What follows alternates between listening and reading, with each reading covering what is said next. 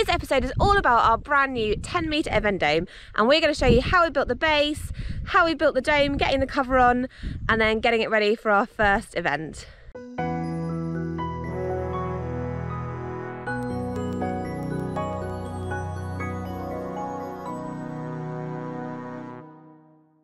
It is now May and we have been talking about this event dome build for literally months, right from February when we started the landscaping. We can now see that we have quite a bit of greenery.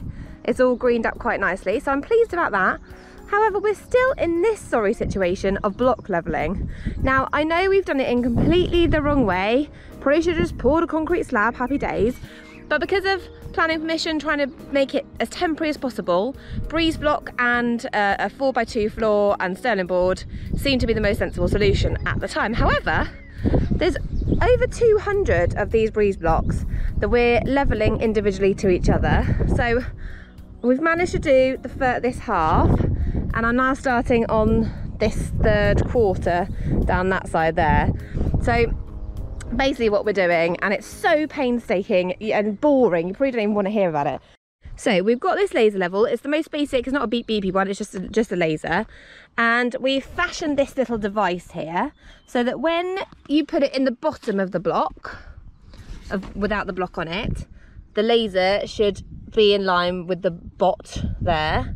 And when the block is on it then the laser should be on the black line that says top so what we're doing is going around, stamping in this bit here to make it flat, or not to make it flat, to compact it, then getting it level with this, then putting the block on and making sure it's level again. So it is hours and hours and hours and hours of work.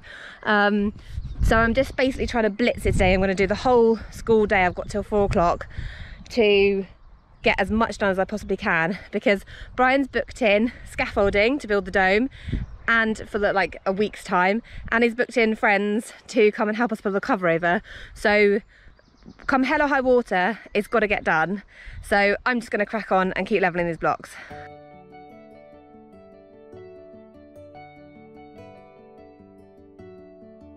Okay, it's uh, about quarter to seven uh, Saturday morning. I've just come out to do the hopefully the last of the block levelling. Um, I've got my hot Ribena because that's all I drink. And you can see we've done the three quarters. I've got one quarter left. Brian's been out and um, moved all the blocks and then tampered down so I've got some nice neat holes. Um, so I'm just going to finish off these last four tampering and then I'm just going to see if I can get him all done.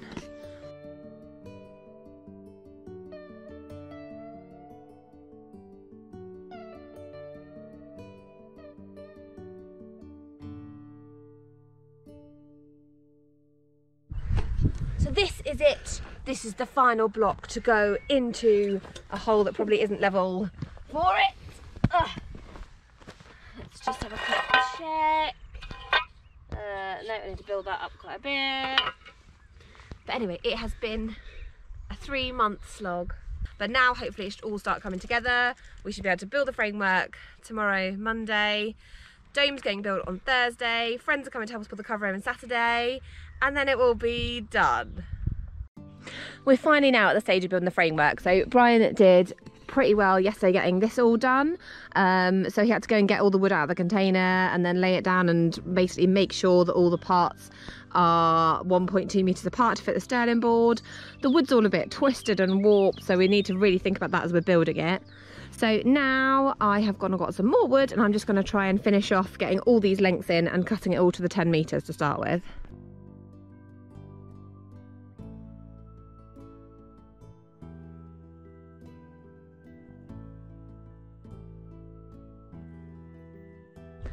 Everything's screwed into the middle beam now and I'm happy that I've cut everything to exactly a 10 metre circle. So I've just been and got the chop saw. I've kind of got all my wood that I've, all my offcuts that I've left to go in for all the cross beams. I managed to get four bits of sterling board on the roof of my car, God knows how, because um, it was a struggle. Sterling board slippery. So what I'm going to do now is start from the middle, get these two the noggins in, making sure that that's exactly 1.22 and it's exactly 1.22 down here so the Sterling board sits perfectly. And then I'm going to sit the Sterling board on and screw it in and do it as I go. We've now been working on this base for a good few days. It's uh, quarter to nine in the evening. Luckily we've got nice light evenings at the minute. So it's just, we've just got these couple of bits and then that side to do. But the plan was to build the dome tomorrow and I'm so gutted that we're not on the schedule that we wanted.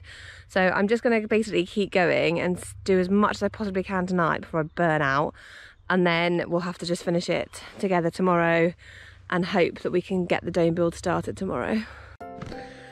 I'm so gutted. I'm so nearly there. I've just got to finish that one and then do those two. But the light is failing and um, yeah, it all went a bit wrong today. I had um, freelance mum networking. I had to do that. I couldn't not do that because I run it. And then I, a chap came to have a look at the site because they want to start a glamping site in West Sussex where they are, and so they wanted to come today. He only phoned me up yesterday. He wanted to come today to have a look at the domes. So um, that kind of lost me an hour.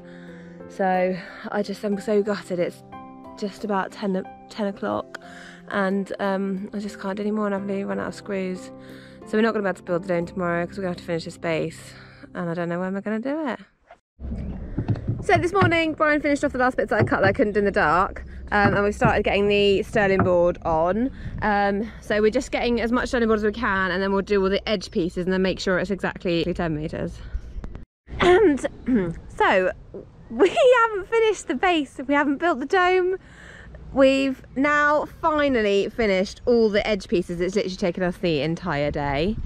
So, um, what time is it now? Four o'clock. So we need to put all the sterling board on and then cut it and then we will have to think about dome building tomorrow. The problem how. is we've already got the scaffolding here. Then we've hired the scaffolding for the week and we've got to get it done by Sunday because we're going on holiday to Wales to see Frown Field. I can't believe all these little spiders that keep climbing on us. I know, everywhere. So yeah, we're having a little glamping trip to Frown Field, which is very exciting for Brian's birthday. However, there's no dome built. And we've got to get it built and we want a tight schedule. Yeah. everything's gone horribly It just wrong. takes, it all takes so, so, so, so much longer than you think it's going to. But it's now the framework is completely done and now we just need to get the sterling board on, chop it, job done. Here I am, it's 20 past 8 and Vicky's just gone to go put the kids to bed and I'm just about to cut the circle into this so that I can work out exactly what's left to do so I need to obviously just patch up this and make it circular as you can see I've got my line drawn where I will be following and cutting. And so next job. Yep cut the circle. But yeah I don't really feel like doing this. I've been out here since seven o'clock this morning. Like I said it's 20 past 8 and I'm pretty broken. So we are days and days behind schedule and we are still building this sodding base but we're so nearly there now. We've just literally got to cut off these very last edge pieces round here to make the whole complete 10 metre circle. We started bringing up the poles. Um, I'm a bit concerned about the build of the dome because all the other ones are sort of 3V, which means that there's only three different size poles. But this one, I don't know, there's about 11 different size poles. So it's gonna make life a little bit trickier but uh, we've decided that we're going to call today a day once we finish the base and then we're going to start afresh with the whole dome build tomorrow. Wow, today's an epic day. It's been a long time coming. I think it's taken us about three months to get to this point. Today we have to spend the whole day building this dome and there are five different size main poles whereas the other domes have been three so that's going to be a bit of a challenge. Yeah. And then when you do the doors there's a whole load of other size extra poles you have to put in. So uh, I think, yeah, I think it's going to be a bit more stressful. But yeah. Yeah, we'll get the main dome built. We've got the scaffold tower, and uh, hopefully it'll all go to plan. The bit I'm not looking forward to though is pulling the cover over. However, we're hoping that we're going to have some help to do that yes. because normally it's just the two of us. But I don't somehow think we'll be able to do that, just the two of us on I'm this. I'm glad you agree. Although, if we really have to, we've got a scaffold tower, we've got a tractor. I'm sure we could make a plan. No, we're going to get a group of people in to help us. We're going to have a dome cover putting on party and it'll be fine. Okay. Well, we'll Right. just get cracking. Yes, let's get going.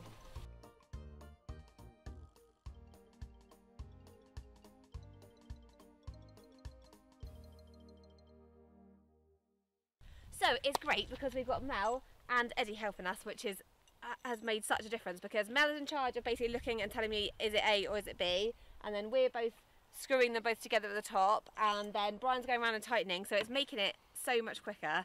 So now it gets to the point where we can't reach anymore, so we're gonna have to get on the scaffolding. But this whole set are just A's, so I'm gonna sit at the top of the scaffolding, and then Eddie's gonna wheel me around, I think, while I screw the A's in. So we'll give that a whirl.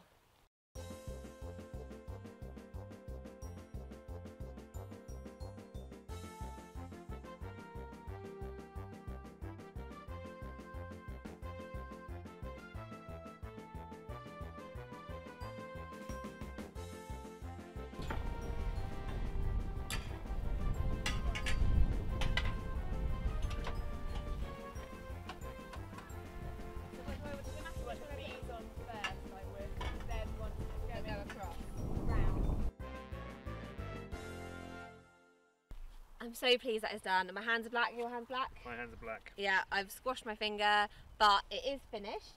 Um, thank goodness for our helpers, who are actually our guests that are staying, but they're very good friends of ours. Um, this is um, Eddie, who is Faye from Freelance Mum. Come on, Faye. Um, Hello. um, she actually has, is having the inaugural event in this dome. So we're going to have a freelance mum mega meetup. So that'll be really exciting. So um, when we told them that we're building a dome, and she's like, and this is going to be done for the 12th of June, which is in literally like what two weeks.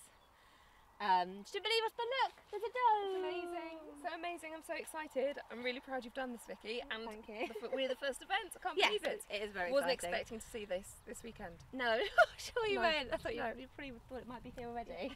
Um, so we've got to figure out whether we've got. I think we've got two doors, but I'm questioning whether we've got two doors. So we need to check that. And to get the doors in, then we can get the cover over, which is what we're most concerned about. Um, but we're hoping our very good friends will stick around and help us. With pleasure. We'll do it tomorrow. I'm not going till I know it's complete. Okay, ready for excellent. ready for use. Excellent. Yeah. yeah. So now the dome is up, we need doors, and we're having two doors, one here and one over there. Um, but we need to figure out where the door's going. So basically, you have to take away this whole section. So this is this is the map of how you fit together all the A's, B's, D's, C's, and E's, and then we have to take away this whole section and then reconfigure it so that basically it ends up empty. And then you add in extra poles to then fit in this hexagonal door frame. Um, so we're just taking away this whole section here and then we'll take away the whole section over there and then fix the door frame. Oh! you trying to wake the glamping site up? No, not really. You were here helping. All right, I'm helping. So we've now got both the doors in. So we've got a nice door frame over here and then one the other side so that we can get a bit of a through draft going as well. And next is the cover. So Brian and Eddie just popped the cover onto the tractor. Brian can't see because the cover's in the way. It weighs an absolute ton. So this is the bit that's stressing me out the most really. But we'll uh, try our best. Yeah. I don't I don't know.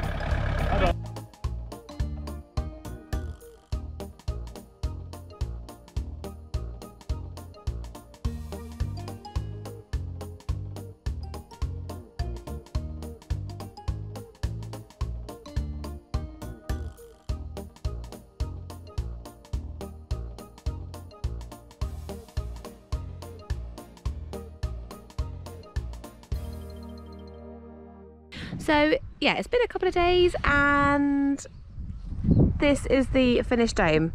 Although it's not quite finished because we tried to get the panoramic window in, but we were so exhausted and we were trying to pack to go away to Frownfields. So this does not line up, like it needs a whole load of jiggery pokery. Um, and then we also got the zip doors in. So these are just the normal standard doors that come with TruDomes. Um, obviously you can get the wooden door kits, but we've just gone with the zip doors. So we can basically open this whole side up and then we've got the other door in here, I'll show you inside. So that's got a door, a zip door as well. And then it's got the three like portholes over there. So this is the event dome. Um, it's really echoey, obviously, because there's no insulation in here at all. So we're just working out ways that we can possibly hang some acoustic clouds. We're just working out. The problem is, now to hang anything, the scaffolding's gone back, so we can't now get up to the top there. So we're working out whether we need to buy scaffolding, whether we can hang them slightly lower, but I don't think our ladder's even going to get anywhere near anywhere up there. So yeah, now we just need to try and sort this window out. Um, and then we're basically done with the build and then it'll be time to sort the interior out. So after quite a lot of jiggery piggery, we've managed to get this all in neatly. Um, and now we're just doing these, because um, they've all got straps so that you can tie them onto the dome. So we're just tightening those up. But it's absolutely chucking it down now, which is good because the grass needs watering, so you're happy. But not when you're trying to finish your dome off. Well, that's been a long time coming and a lot of fun and stress and stress. goodness yeah. knows whatever else. I don't recommend doing the base the way that we did the base though, leveling those blocks and splitting those blocks. No, that was an idea. absolute nightmare. However, it was the cheapest way to do it, but cheapest but most labour intensive, as I said all along. Yeah. yeah. So uh, I suppose you decide how you want to do your base. Let us know in the comments how you would like would have done it. I'm just pleased it is done, and then in another episode, which definitely won't be next week, no. um, we will be getting the floor down and trying to make it into more of a, an interesting event space ready for our first event, which is literally next weekend. Well, you've got a lot of work to do. we will see you again if we're still alive on our next video.